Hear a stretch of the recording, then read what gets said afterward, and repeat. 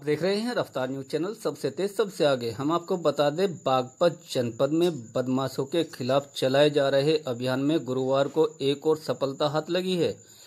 Khekra police ने पच्चीस हज़ार के एक इनामी बदमाश को मुठभेड़ के दौरान मार गिराया है। बदमाश पर लूट, हत्या जैसे दर्जन भर से भी अधिक संगीन अपराध दर्जते मुठभेड़ के दौरान बदमाश का दूसरा साथी मौके से फरार हो गया।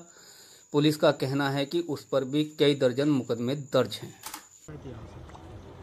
बदमाश का नाम संदीप कुमार सांसी था, जो कि दिल्ली जावला करने वाला था। आज अर्ली मॉर्निंग, जब हमारी पुलिस टीम गश्त पे थी, भोर गश्त पे थी रटौल मुबारकपुर मार्ग पर, उसी समय क्योंकि टीम प्राइवेट गाड़ी में थी, उसी समय ये अपराधी उनके सामने आ गया।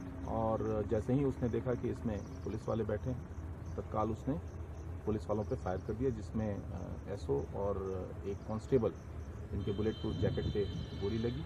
जवाबी कार्रवाई में बदमाश घायल हुआ, जिसकी मृत्यु हो गई।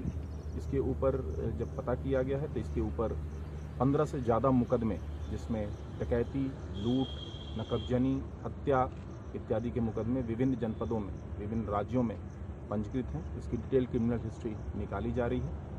और आगे की कार्रवाई है।